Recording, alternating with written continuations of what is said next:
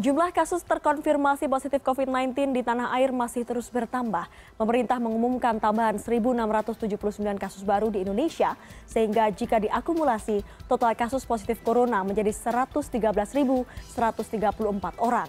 Kemenkes lewat situs satgascovid19.go.id juga mengumumkan penambahan 66 pasien positif COVID-19 yang meninggal dunia.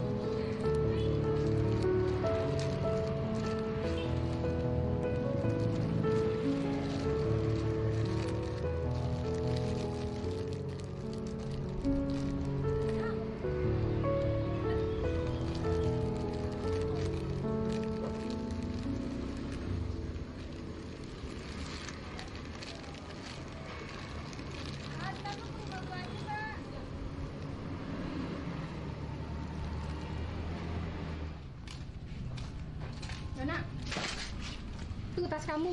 Mulai malam ini, kamu jangan lagi ya tidur kamar ibu, kontrakan ibu. Soalnya kalau ibu nampung kamu, saya mau dapat uang dari mana, Yona? Kamu aja ngamen terus nggak dapat duit. Nggak sono pergi, pergi, pergi.